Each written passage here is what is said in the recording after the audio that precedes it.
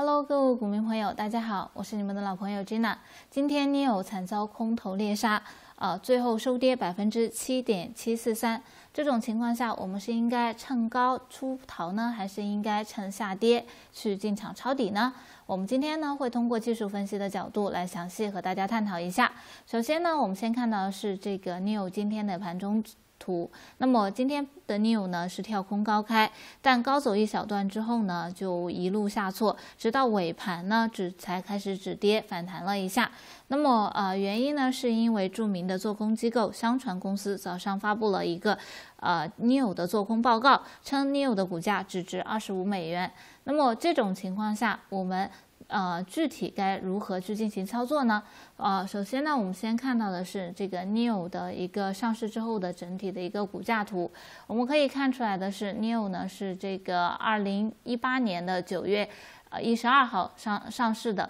上市之后呢，一路下挫，然后呢，开始走了一个头肩底的一个形态，开始往上走。所以真正的上涨的话，差不多是今年的这个五月份开始，才形成了后期的这一波的这个大幅的上涨。所以这种情况下的话，我们来。看一下最近的一个走势，那么我们把图放大一点，可以看出来的话，这个 New 呢，此番就是从五月份开始呢，是一路上升上行，那么走到今天，股价呃下跌了百分之七点七四三，那现在是不是一个短线的卖点呢？我们先从趋势的角度来详细探讨一下。首先呢，大家看到的这个图呢，是这个 New 的日线图，那么从它的日线图上，我们可以看出来，这个指标呢叫做趋势阶梯，白色线方向朝。朝上说明中期上升，那么白色线方向朝下呢，则说明中期下降。所以目前是中期上升，没有什么问题，对吧？然后第二个呢，我们看的是红色柱子代表短期上升，这个绿色柱子则代表短期下降。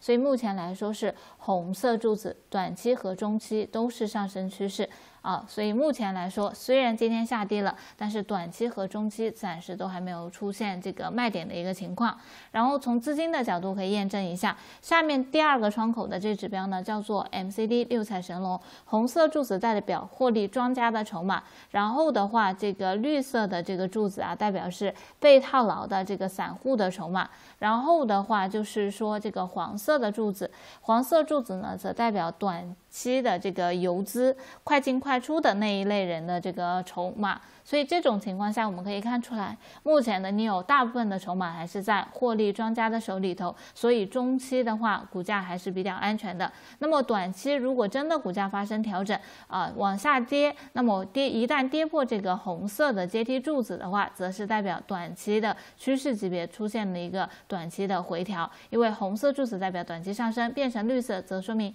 短期上升变变成短期下降，那出面出现了一个短期回调的信号，那么短期的。回调就开始了。那么，呃，但是的话，虽然趋势类指标还没有出出现这个卖点，但是如果我们想要就是早一点能够发现，那早一点出局的话，我们可以看六十分钟是不是已经走出底呃那个顶部形态了。目前我们看到的是 NIO 的六十分钟图，这个六十分钟图可以看出来，股价呢相对于前期高点来说，高点高点依然是抬高的，但是这个低点呀也是跌破了前期的这个低点的。从趋势的角度来说，白色线方向依然是朝上的，所以中期还是上升。但是短期的话，现在是绿色柱子，所以六十分钟级别是中期上升趋势中的短期回调。那么啊，但是就是说这个回调，如果说尾盘今今天的尾盘往上去尝试。了向上反弹，但是反弹到绿色柱子受到一定压力没过。如果说明天股价这个绿色柱子还不过，继续往下走，跌破这个白色线的话，白色线方向也开始由上升到走平，然后开始往下走的话，那么 new 这一波短期回调就在所难免了。所以这种情况下的话，我们就知道了接下来呃 New 的一个呃基本的一个状况。我们可以看出来的是，目前来说 New 啊肯定不可能再走。底部形态对不对？所以这个时候肯定入场抄底还不合适，因为它才跌了一天，然后我们就进场抄底，就觉得它是一个底部了，跌百分之七点多就是个底了。那它如果从这个底，从这个高点到这个呃白色线的位置，它如果真的下短期下来回调到这个白色线的位置，那这空间就比较大了。这白色线才二十六块九毛钱左右，那么这个幅度和空间肯定就不止百分之十了，对吧？所以的话，这个我们。现在进场抄底还延就是有点早，有点早了，因为像现在价格实在有点高。但是的话，如果我们现在短线的话，注意一下风险是不是可以呢？当然是可以的。那么这种情况下呢，大家可以把这根 K 线，就是今天的这根 K 线的一个最低价呢，作为我们接下来的一个重点关注对象，因为我们看了六十分钟图，如果股价继续往下跌，只要跌破今天的一个盘中最低，那么基本上的话，短期的这个回调应该是在所难免的哦。那么而且的话，今天这根 K 线是还是一个关键 K 线，为什么呢？因为我们可以看，可以把图形缩小一下，看一下最近最近的话，除了前面这个位置出现了一个啊放成交量放量的一根 K 线以外，后期就再也没有出现过放量的，没有出现过像今天这么大量的这种 K 线了。所以这根 K 线的话，放量的 K 线一般都说明这个价格区间里面是有特别多的筹码成交的。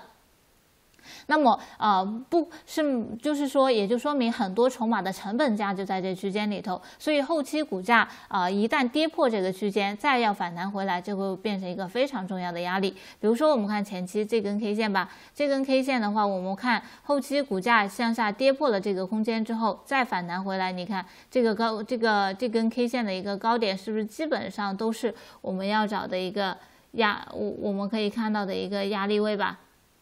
啊。可以看到啊，到这个位置，那我们把这个用用这个用这个来看吧，把这个放放过来，你我们可以看到，基本上跌破了之后，后期股价回来是不是就一直在这个区间里头横盘过不去？那么到现在的话也是一样的，如果股价继续啊，就是把今天这根 K 线的最低作为一个啊，我们接下来所。关注的今天这根 K 线作为一个关键 K 线，如果股价跌破这个区间往下走，肯定还有更大空间，而且再反弹回来，这个区间都会是很重要的压力。那么这个区间的最低呢，就是四十四块五毛六，然后最高呢，就是今天的最高价五十四块二毛钱了。所以基本上呢，我们就可以看出来它重点的一个目标的呃这个压力位在哪里了。所以短线来说，我们要做现在要做的是什么呢？就是把这今天这根 K 线做一个关键 K 线口的框出来。看后期股价到底是横盘调整呢，还是选择下跌调整？如果选择下跌调整，跌破今天的最低，那么短期往下走肯定还有更大的空间。